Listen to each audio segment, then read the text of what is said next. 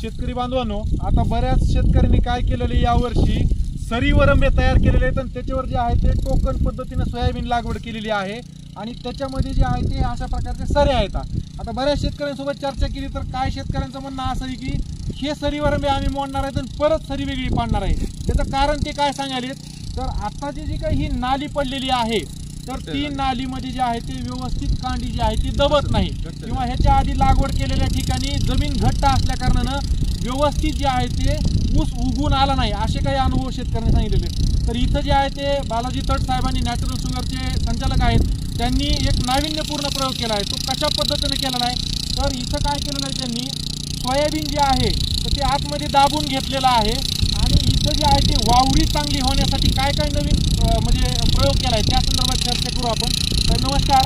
तुम्ही आता हे जे काही यंत्र चालवत आहात तर हे काय उद्देश काय आहेत आणि काय कारण आहे आता हे चालवण्यामागचे एक उद्देश म्हणजे आता हे म्हणजे प्लॅनिंग करतानाच बेडवर सोयाबीन केलं आणि खालच्या स- सरीमध्ये ऊस लावायचा. पाऊस काळ झाल्यानंतर आपल्याला ऊस लावायचा. त्या दृष्टिकोनातून आम्ही प्लॅनिंग करून आता सोयाबीनला साधारणतः एक आठ दिवसाची काढणीला वेळ आहे. हो. परंतु आता त्याला वाट न बघता हां. डायरेक्ट सोयाबीन थोडंसं पायाच्या साह्यानं आता बाजूला करून घेतलं. बरोबर. आणि खालच्या सरीमध्ये आता काय होते घट्टपणा येते किंवा आपण म्हणून त्याला निबरपणा येते होय. तर ते एक तर बळीराम नांगर मारून ते लूज करून घ्यावं लागतं. हो हो. तेव्हा कांडी त्याच्यामध्ये बसते. बरोबर तर त्याच्याऐवजी नवीन एक पॉवर सारखी नेटकीचं आलेलं आहे. तर हे अशा प्रकारे रोटर करून जमीन फोडण्याचं काम करतो हे बघा तुम्ही आता बघू शकता झूम करून दाखवतो आपण जर इथं पाहिलं तर यापूर्वी एकदा हे रोटर चालवलेलं आहे आणि टाईप आणखीन चालवत आहे. त्याच्यामुळं काय आहे जमिनीमध्ये वावरी चांगली होईल आणि हवा खेळती काही असणं गरजेचं आहे. पुढच्या पिकाला हवा खेळती राहणं अत्यंत गरजेचं आहे. आपण जर बघितलं तर वावरी खूप जबरदस्त इथं होईल. ह्यानं काय होणार आहे? आता इथं लगेच पाणी दिल्याच्या नंतर ही जी काही व्यवस्थित माती मोकळी झालेली आहे त्याच्यामुळं गाळ चांगला तयार होणार आहे. आणि गाळ चांगला तयार झाल्यामुळं कांडी जी आहे ती व्यवस्थित बसणार आहे. दुसरा विषय या जमिनीमध्ये हवा सुद्धा खेळते तुम्हाला काय वाटते हवा सुद्धा झाल्यामुळे हवा खेळती राहणार. आहे. ह्याच्यामुळं काय होतं रोटर होत असल्यामुळं सगळी मा- माती जी आहे ती बारीक होती. होय होय. म्हणजे आपण काय करतो बळीराम नांगर मारतो. बरोबर. त्यावेळेस थोडेसे असे मोठे मोठे थोडे ढेकळं निघतात. हा बरोबर ते. ढेकळं नाही निघतं ह्याच्यामध्ये ऑटोमॅटिक बारीक ते माती निघते. बरोबर आणि ह्याच्यात पाणी सोडल्यानंतर हे काय होते पाणी सोडलं की ऑटोमॅटिक त्याची मूळ माती होते बरोबर. आणि त्या कांडीवर बसते.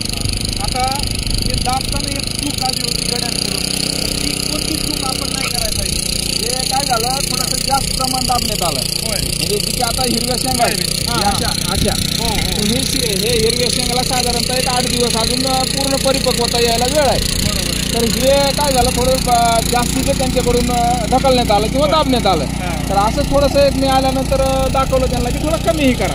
तर ते ते असं दिसते बघा इकडच्या जर पाहिलं तरी असं थोडंसं कमी दाबण्यात आलंय. तर ह्याला काहीच इफेक्ट होणार नाही.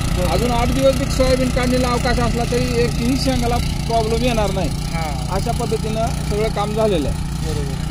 तर शेतकरी बांधवांनो आपण बघू शकता जसं तट साहेबांनी सांगितलं तसं हे जसं एकदम जवळजवळ दाबलंय असं दाबू नका. थोडंसं अंतर आणखीन ठेवलं तरी हरकत नाही. ह्याच्यामुळं काय होणार आहे? पाऊस जरी पडला तरी हे जे काही वाळणार आहेत हे शेंगा वाळायच्या राहिलेल्या आहेत आणखीन ह्या. तर जास्त जर दाटवा आपण दाबून दाटवा केला तर ह्यांना वाळायला थोडासा वेळ लागू शकतो कालावधी लागू शकतो. त्याच्यामुळं नॉर्मल दाबून घ्या.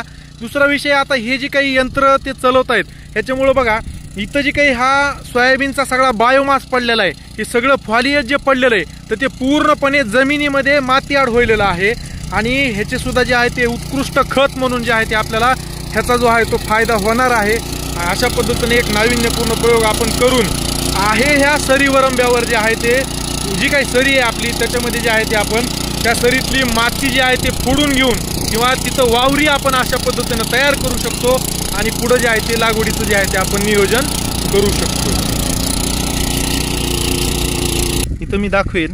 का सोयाबीनचे जे आहे ते आलेले हे जे काही बघा इथं जर आपण व्यवस्थित बघितलं तर इतक्या लांबपर्यंत जे आहे ते हे आलेले सोयाबीनच्या मुळा आहेत आणि त्याच्यावर जे आहे ते नत्र स्थिरीकरण करणाऱ्या ह्या गाठी आहेत. आणि ह्या नत्र स्थिरीकरण करणाऱ्या गाठीसुद्धा जे आहेत ते ह्याच्यामध्ये नत्र आता स्थिर झालेलं आहे. आणि हे जे आहे ते आपल्या पुढच्या पिकासाठी जे आहे ते उपयोगी जे आहे ते आपल्याला होणार आहे.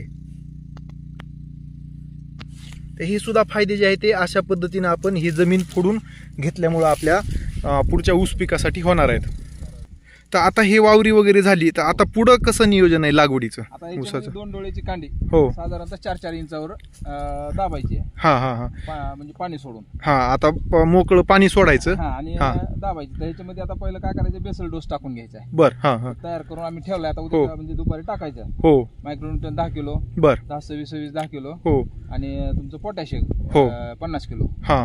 तर हे दहा दहा सव्वीस सव्वीस दोन गोण्या पोटॅशियम आणि अं, एक मायक्रोन्यूटनची बॅग आहे ते आपल्या ह्याची अं, जे किसानची. होय. तर ती पंचवीस किलोची आहे तर ती एक टाकायची.